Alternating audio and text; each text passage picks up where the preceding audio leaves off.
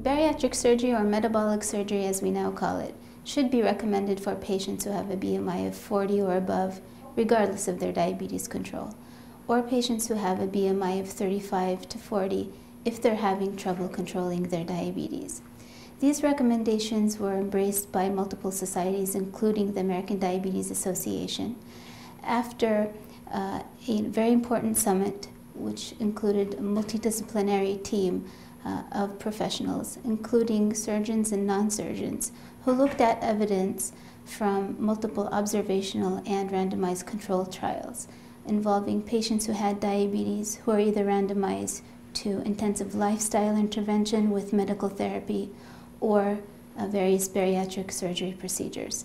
And what they found was uh, observational data that had long supported the benefits of metabolic surgery um, were confirmed by results of randomized controlled trial. Glycemic improvement after metabolic surgery is measured by remission rates and reduction in the number of medications needed to control diabetes. And both these outcomes are superior after metabolic surgery, whether it was Roux-en-Y gastric bypass, or sleeve gastrectomy, or lap band procedures, or various metabolic surgeries, uh, had superior outcomes in terms of their diabetes management compared to intensive lifestyle and medical therapy. And the benefits of metabolic surgery last up to five years post-op.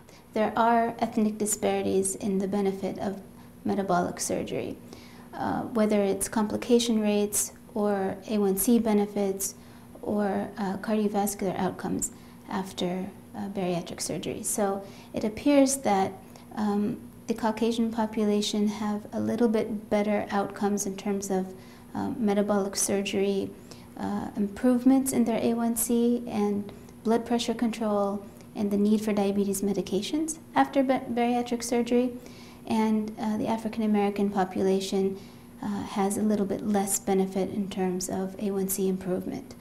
Um, we know that people who benefit the most from metabolic surgery in general, regardless of their ethnicity or genetic background, appear to be those individuals who have uh, a shorter duration of diabetes. Uh, they don't need insulin prior to going into having metabolic surgery. Age plays a big factor, and um, socioeconomic demographics.